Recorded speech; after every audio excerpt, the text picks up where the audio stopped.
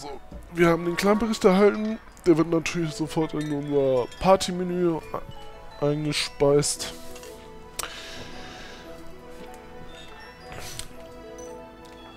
Los, komm, nimm das hier, solange du dabei bist.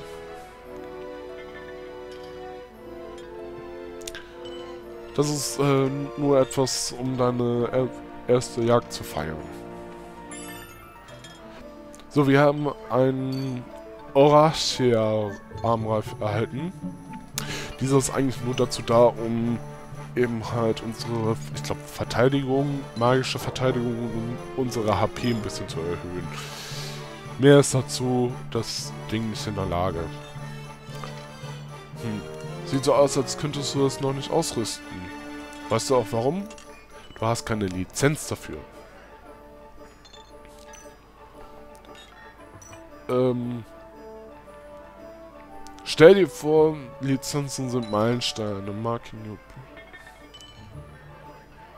die deinen Fortschritt, äh, Fortschritt in deinen Kampffähigkeiten verbessern. Schwerter, Bogen, Schwarzmagie, Weißmagie. Nichts kann äh, benutzt werden, solange du... Ähm, ne, ja doch, nichts kann davon genutzt werden, solange du nicht die Lizenz dazu hast, das zu nutzen. Dasselbe gilt für den Armreif. Du musst vorher die Lizenz immer erwerben. Und Lizenzen wurden im guten Menü hinzugefügt. Ich würde sagen, du bist äh, bereit zur Jagd ähm, auf den Mob für mich.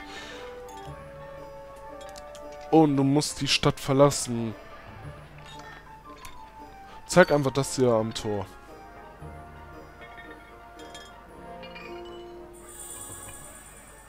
So, wir haben das Schreiben erhalten.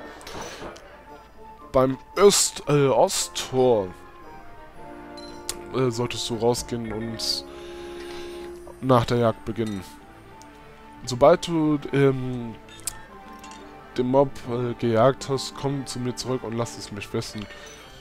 Deine Arbeit wird nicht un ohne äh, Dings sein. Hier, ohne ohne Reward. Ich, ich sag äh, auch Reward eigentlich. Ähm. Ja.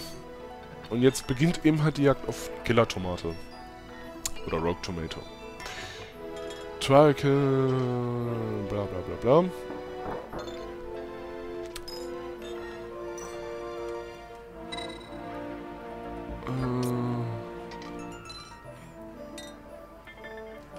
Is that clear? Yes.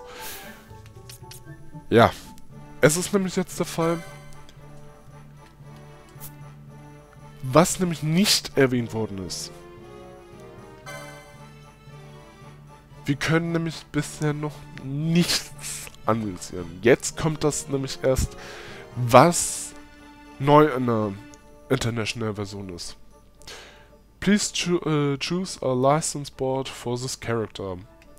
There is total of 12 different boards available. Each, uh, um, each with unique set of license that will affect your character stats and abilities. The board cannot be changed once it has been set. Also, um es kurz zu machen, es gibt zwölf verschiedene Lizenzbretter und ähm, jedes hat eben halt seine eigenen ähm, eigenes Set von Lizenzen. Ich werde darauf auch gleich nochmal drauf hinweisen, welche da genau sind. Und äh, je nachdem, welches wir eben halt nutzen, werden auch die Status, Status und die Abilities, also die Fähigkeiten eben halt verändert. Und man kann das Brett nicht danach wechseln. Also sobald man sich darauf ähm, festgelegt hat, bleibt es so. Wir haben hier zum Beispiel ähm, Das hier ist, glaube ich, die Waage und etc. Also wir haben hier wirklich Sternzeichen. Wir haben zwölf Sternzeichen. Zwölf Monate, zwölf Sternzeichen, klar. Und äh, wir haben zum Beispiel zu jeder Klasse haben wir wirklich auch noch, ähm, ja, wir haben dann eben halt die gesamten Zeichen, wir haben dann auch die gesamten Klassen. Beispielsweise haben wir den Ritter. Der Ritter, das zeige ich euch mal. Da würden wir hier anfangen. Wir haben hier dann die Schwerter. Und äh, ein ganz normales Lizenzbrett eigentlich. Das ist jetzt allerdings kleiner als das Original. Und äh, hier haben wir zum Beispiel das Tone Sol, das Sonnenschwert. Den Zodiac e. Den wird allerdings nicht der Knight kriegen. Das sage ich euch jetzt schon. Und ähm, man sieht auch hier, es ist total wenig, was man für die erste Mysttechnik bekommt, äh, braucht. Man braucht echt nur kurze Strecken. Äh, die nächste befindet sich dann zum Beispiel hier und hier befindet sich dann noch eine und hier. Das heißt, wir haben pro Lizenzbrett haben wir nur vier Stück. Allerdings ist es so, dass ich, äh, das habe ich nämlich extra auch so gewählt, ähm, weil ich habe mir natürlich schon Gedanken gemacht, welcher, welch, ähm, welches Lizenzbrett eben halt bekommt. Und ähm, wenn man zwei Leute denselben Job eben halt zuweist, kann man nicht mehr mit beiden Charaktern eben halt alle drei Mysttechniken lernen. Das geht nicht. Äh, stattdessen kann man natürlich was anderes machen. Wie zum Beispiel ähm, der Ulan und der Knight. Die können dann beide dann trotzdem alle vier Myst äh, alle drei Mysttechniken lernen. Ähm, der Ulan das ist so das, was ich für Wann eben halt so gedacht habe. Ähm, hier sieht man zum Beispiel auch, Black Magic 5 und 6 sind äh, nur eben halt zugänglich über diesen Punkt hier. Das heißt, wir müssten diese Mysttechnik lernen, dann können wir erst diese beiden lernen. Würden wir jetzt zum Beispiel diese Mysttechnik, diese und ich meine hier und ja, hier ist auch noch eine. Die Felder werden noch freigesetzt, also keine Panik.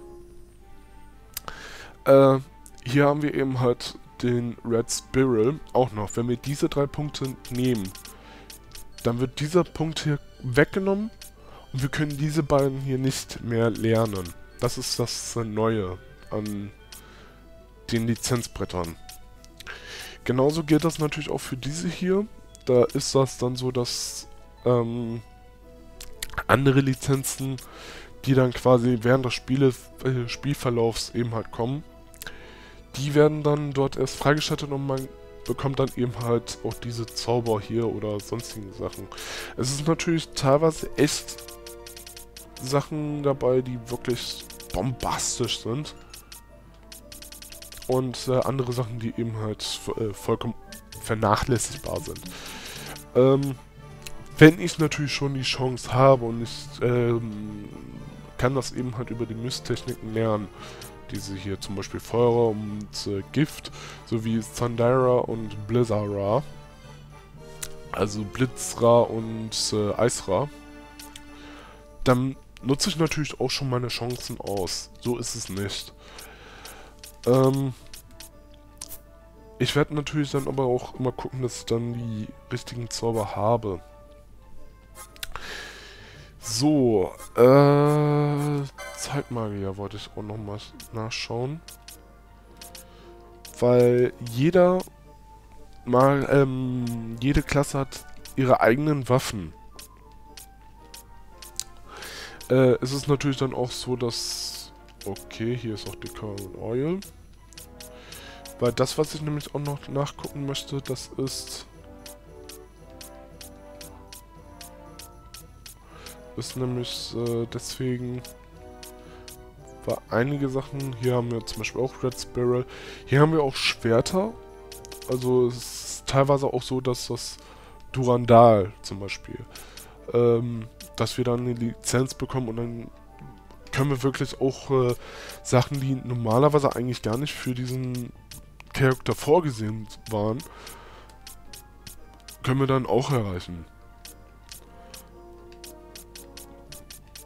Aber ich denke mal, ich weiß schon, welches äh, Zauber ich eigentlich nehme. Berserk brauche ich sowieso nicht.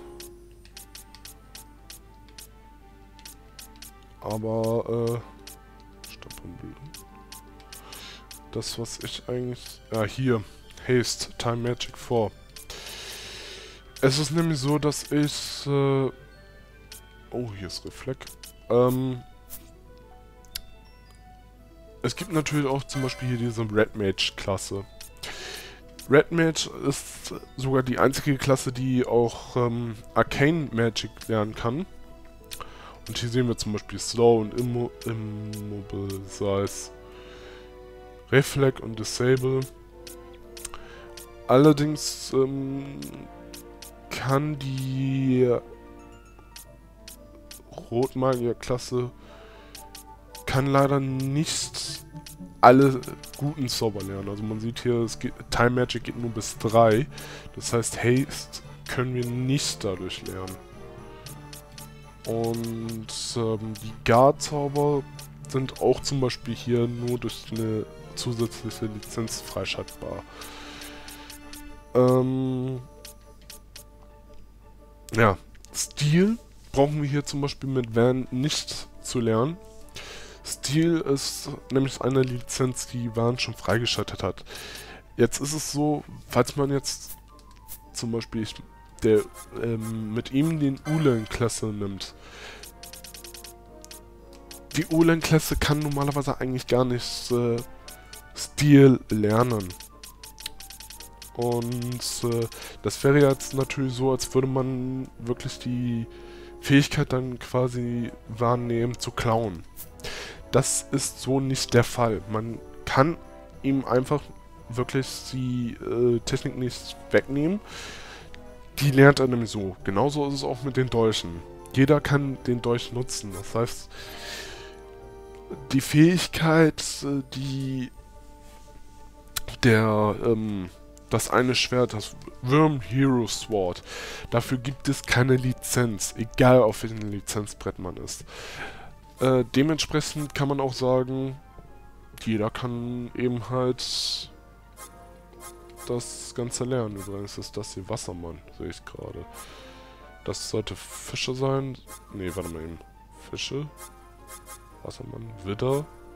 Keine Ahnung, was das ist. Das müsste entweder Zwilling oder Waage sein.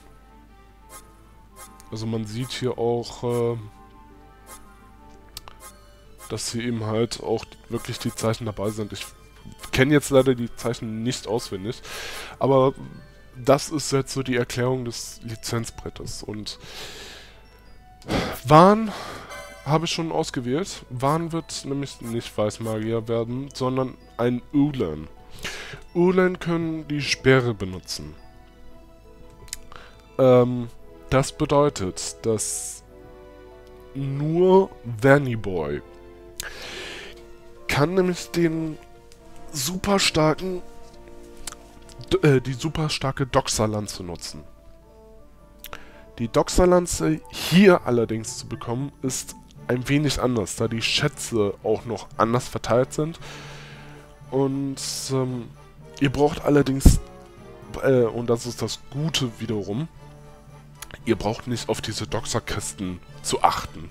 Die gibt es nämlich gar nicht mehr. Das hat man nämlich äh, jetzt komplett entfernt aus der Zodiac-Version. Und äh, stattdessen gibt es nur noch eine Kiste, die mit der Doxer-Lanze drin ist. Ähm, die befindet sich in den Hennerminen. Und äh, jetzt ist, ist, es jetzt mehr so Information für die Leute, die jetzt wirklich äh, das Spiel auch schon kennen. Deswegen sage ich das jetzt einfach mal so. Ähm,